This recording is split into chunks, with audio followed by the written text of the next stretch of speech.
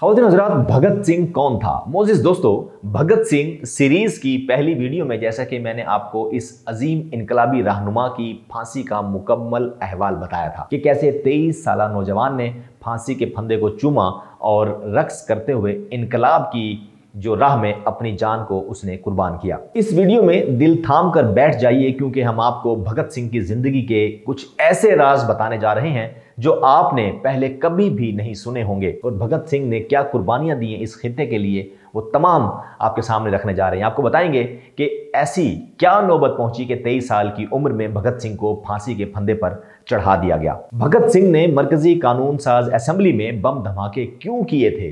बम धमाकों के बाद हर तरफ़ अंग्रेज़ मुर्दाबाद के नारे लगाने वाले वो कौन थे?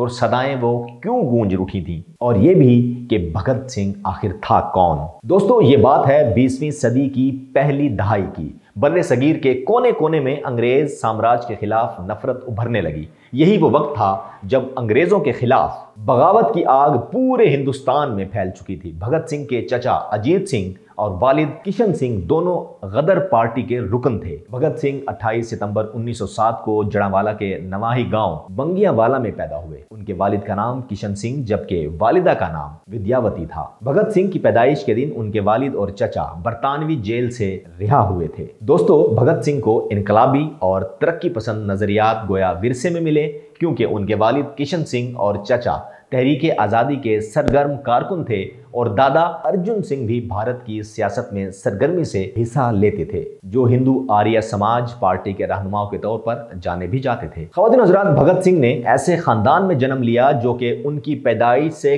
कबल ही अंग्रेज़ साम्राज्य के खिलाफ आज़ादी की जंग लड़ रहा था। भगत सिंह की उम्र 12 साल थी, जब 1912 में जलियाँ वाला बाग अमृतसर में जनरल डायर के हुक्म पर लोगों पर गोलियाँ बरसाई गईं। और सैकड़ों को शहीद किया गया था।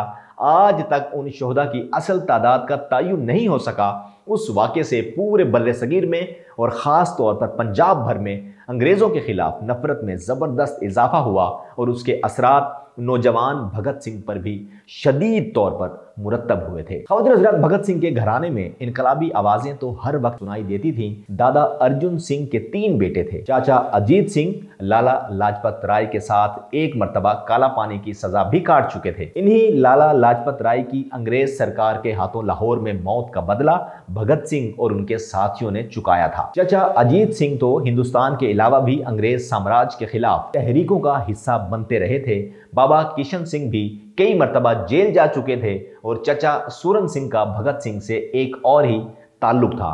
कहते हैं कि जिस वक्त अंग्रेज़ सरकार के बदतरीन तशद की वजह से सूरन सिंह की मौत हुई, उसी वक्त भगत सिंह ने लॉयलपुर के इस गुमनाम से गाँव में आग खोली थी। स्कूल से कॉलेज तक का सफ़र तय करते करते भगत सिंह ने बहुत कुछ सीख लिया था। नेशनल कॉलेज लाहौर की लाइब्रेरियों में जितनी सुर्ख किताबें मौजूद थी, भगत सिंह ने सब पढ़ डाली थी। भगत सिंह ने बहुत कम उम्र में ही कई तरक्की पसंद तंजीमों और आज़ादी के लिए जिद्दोजहद करने वाली सियासी जमातों की रुकनीत भी हासिल कर ली थी। जिनमें Communist Party of India, Republican Association Kriti Christian party, Naujawan Bharat सभा, ब्रिटिश समाज मुखालिफ वगैरह शामिल हैं। भगत सिंह और उनके साथी भारत सभा का हिस्सा बन गए। ग्रेजुएशन के जमाने में भगत सिंह हिंदुस्तान रिपब्लिकन पार्टी के रुकन रहे, जो साम्राज्य मुखालिफ इनकलाबी पार्टी थी। इस पर बंगाल के इनकलाबियों का असर भी था और इस पार्टी का बाद में नाम हिंदुस्तान सोशलिस्ट रिपब्लिकन आर्मी रख दिया गया। दोस्तों, भगत सिंह ने इस दौरान पंजाबी में शाया होने वाले अखबार किरती और हिंदी अखबार अर्जुन में अपने ख्यालात और नजरियात का बरमला इजहार शुरू कर दिया था। इनकी साम्राज्य दुश्मन तहरीरें अंग्रेज़ सरकार को नहीं भाती थी। इसी दौरान वो बम धमाके में गिरफ़्तार हुए और पाँच माह की जेल काटने के बाद साठ रुपए के जमानती बॉन्ड्स के इवज जमानत उनकी हुई। भगत सिंह के साथियों की इनकलाबी जिद्दोजहद में अहम मोड़ उस वक्त आया जब 1928 में साइमन कमीशन हिंदुस्तान आया तो लाहौर स्टेशन पर उसके खिलाफ एहतजाज करने वालों में लाला लाजपत राय भी शामिल हो चुके थे। पुलिस ने पहले तो हजूम को पुरअमन तरीके से मुंतशिर करने की कोशिशें की, मगर फिर सुपरिटेंडेंट स्कॉट के कहने पर लाठी चार्ज शुरू कर दिया। लाठी लाला लाजपत राय को भी लगी और जख्मों की ताब ना लाते हुए वो चंद दिनों बाद फौत हो गए। दोस्तों लाला लाजपत राय के कत्ल के जमन में सुप्रिटेंडेंट स्कॉट का नाम लिया जाने लगा। दिसंबर 1928 की 17 तारीख को लाहौर में पुलिस हेडक्वार्टर के सामने असिस्टेंट सुप्रिटेंडेंट सॉन्डर्स को गोली मारकर कत्ल कर दिया गया। उसी रात लाहौर के दरों दीवारों पर एक पोस्टर चिस्पा हुआ जिसमें हिंदुस्तान सोशलिस्ट रिपब्लिकन आर्मी ने इस कत्ल को लाला लाजपत राय के कत्ल का बदला करार दिया। दोस्तों, उस कत्ल का मंसूबा भगत सिंह, राजगुरु और चंद्रशेखर आज़ाद ने मिलकर बनाया था और गोली का असल निशाना सुप्रिटेंडेंट स्कॉट था, मगर एन मौके पर उस वक्त स्कॉट की जगह सॉन्ड्रेस हेडक्वार्टर से निकल आया और उसे गोली मार दी गई। भगत सिंह और साथी लाहौर से निकलने में कामयाब हो गए।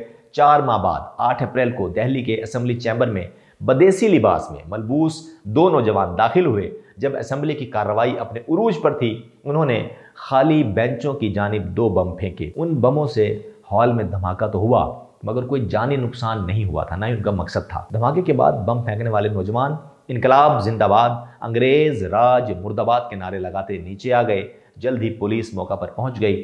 भगत सिंह और बिटोर किश्वर दत्त ने खुद को गिरफ्तारी के लिए पेश कर दिया। खवतिन हजरात, सात मई को उनके खिलाफ मुकदमे की इब्तदा हुई। इधर ये मुकदमा चलना शुरू हुआ और उधर भगत सिंह ने आज़ादी का पैगाम आम करने के लिए अदालत के कटहरे को मुंतखब किया। थोड़े ही दिन में अदालत में अदा होने वाला एक एक लफ्ज़ शाम से पहले हिंदुस्तान के कोने कोने तक पहुँच जाता। मजीद बदनामी से बचने के लिए जल्द ही इन दोनों को 14 साल की कैद सुना दी गई। इसी दौरान चंद और शवाहिद मिले और गिरफ्तारियाँ हुई, जिनके बाद भगत सिंह का ताल्लुक सॉन्ड्रस के कत्ल केस से जोड़ना मुमकिन हो गया। लिहाजा चौदह साल की सजा कलदम हुई और कत्ल का मुकदमा शुरू कर दिया गया। मुकदमे की समात के दौरान भगत सिंह को मियाँ वाली जेल मुंतकिल कर दिया गया था। दोस्तों, भगत सिंह ने जेल में भूख हड़ताल भी कर दी। अंग्रेज़ों ने बहुत कोशिश की, मगर इनका इरादा ना टूट सका। हर गुजरते दिन के साथ भगत सिंह हिंदुस्तान भर में मशहूर होते जा रहे थे। जब मामला शिद्दत इख्तियार कर गया तो इस मुकदमे को वक्त से पहले शुरू किया गया और अब सॉन्ड्रेस के कत्ल के अलावा कॉट के कत्ल की मनसूबाबंदी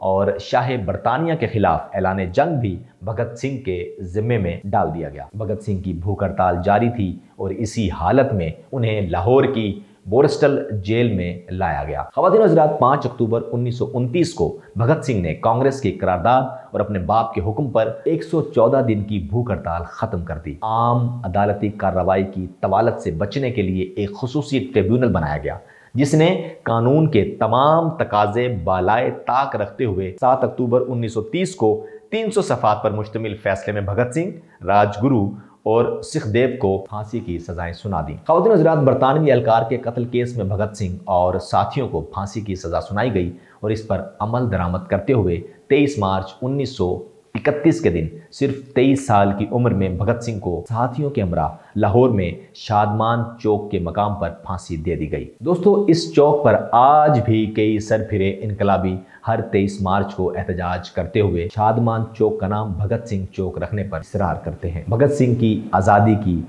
जो जिद्दोजहद थी और उसका जो जज्बा था, इस खत्े को, यहाँ के लोगों को और यहाँ की हवाओं फ़जाओं को आज़ाद करवाने के लिए जो उसका जज्बा था, आप इस हवाले से कुछ कहना चाहेंगे? और आज आप क्या समझते हैं कि आप आज़ाद फ़जाओं के पंछी हैं, यानी आज़ाद फ़जाओं में सांस ले रहे हैं कि आप आज़ाद हैं? आप इस हवाले से भी नीचे मौजूद कमेंट बॉक्स में लेकर हम तक ज़रूर पहुंचाइएगा। फिल वक्त पाकिस्तान स्टोरी से इतना ही कामरान खान को इजाज़त दें। अल्लाह हाफिज़।